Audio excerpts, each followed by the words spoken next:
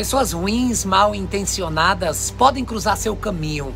Então esteja atento para não cair em suas ciladas e também para não retribuir com o próprio mal, mas para vencer o mal com o bem.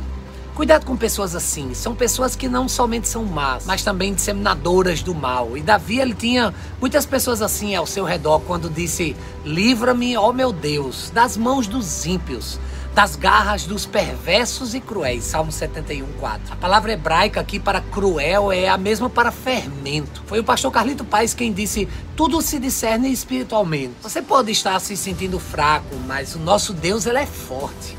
Tudo é para a glória de Deus. Creia, a sua vida é fruto da graça e da compaixão de Deus. Nunca caia na bobagem de negar ou não reconhecer essa verdade absoluta do Evangelho de Jesus.